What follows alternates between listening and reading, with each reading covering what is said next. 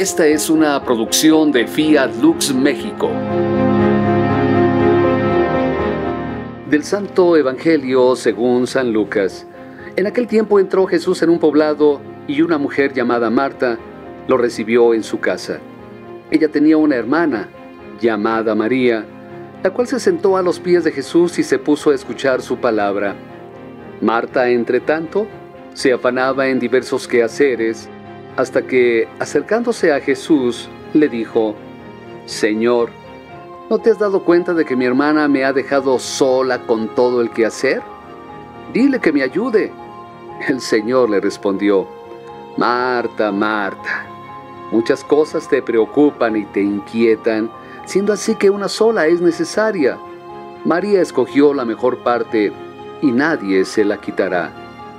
Palabra del Señor. Comentario al Evangelio. Marta, Marta, muchas cosas te preocupan y te inquietan. La imagen de Marta y María representan a dos grupos diferentes de seguidores de Jesús. Marta, a los que proceden del judaísmo, donde encajan los doce, y María, a quienes proceden de Samaria o comunidad no judía, que se insertan en el grupo de los 72. Marta recibe a Jesús, pero no pone atención para escuchar y aprender de él. María aparece en segundo plano, pero es la que lo acoge a plenitud, a los pies del Señor. Nos recuerda a la pecadora. ¿Con cuál de los dos grupos nos identificamos?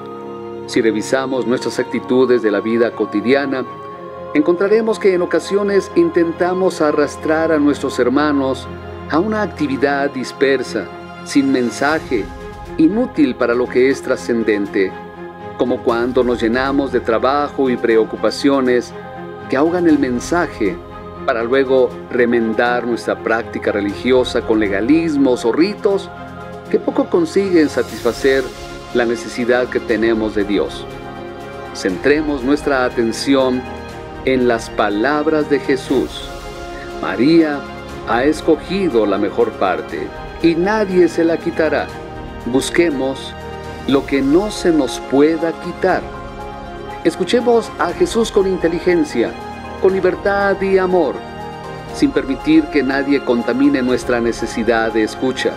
Pero tratemos de equilibrar nuestra vida con una sana unidad entre la oración y la acción, es decir, entre el amor total a Dios y el amor a nuestros hermanos. Alguien ha dicho, no por hacer las cosas del Señor, olvidemos al Señor de las cosas. Visita nuestra página www.fiatluxmexico.com